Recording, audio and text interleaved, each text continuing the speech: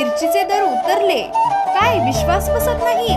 मग एकदा याच उत्कृष्ट चवीच्या आपल्या स्वाद मसाले पलूस आणि विटामध्ये मिरची फक्त दोनशे रुपये किलो पासून महाराष्ट्रात कुठेही घरपोच मसाले आणि चटणीसाठी एक वेळ अवश्य भेट द्या.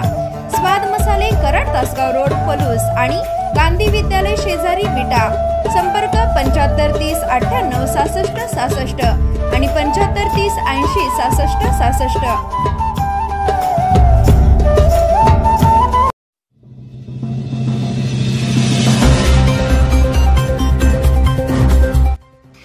शेतकऱ्यांच्या प्रश्नाकडे सरकारचे लक्ष वेधण्यासाठी स्वाभिमानी शेतकरी संघटनेच्या वतीने वसगडे येथे रास्ता रोको आंदोलन करण्यात आले.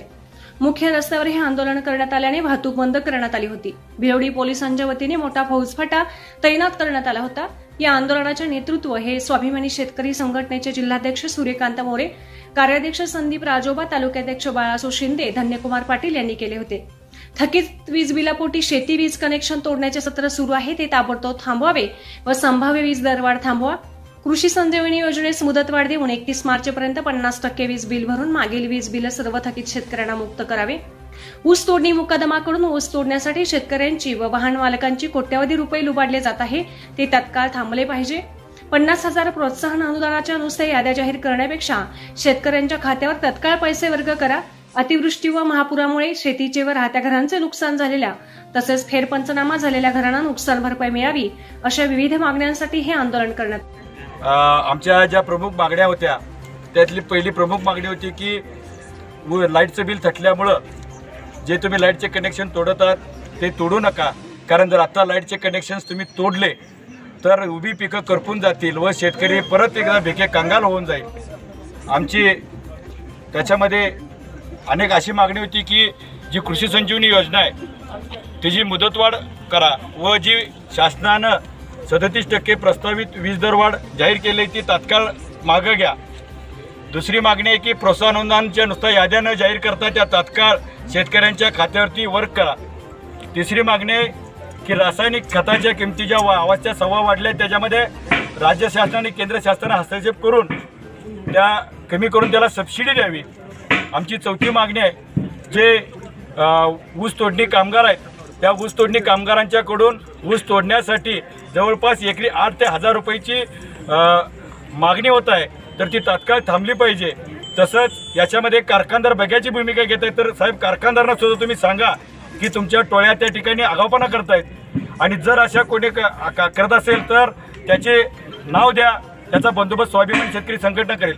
पुढची मागणी आमची अशी होती की जे शेतकऱ्यांचे पूर आता या ऊसधंद्यामध्ये वाहनधंद्यामध्ये उतरले आहेत उतरलेत ऊस तोडणी वाहतुकीसाठी तर त्यांची फसवणूक केली जाते.